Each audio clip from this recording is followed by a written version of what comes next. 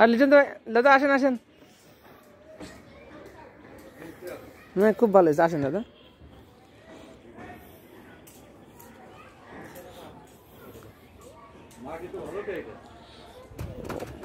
খুব সুন্দর মাটি।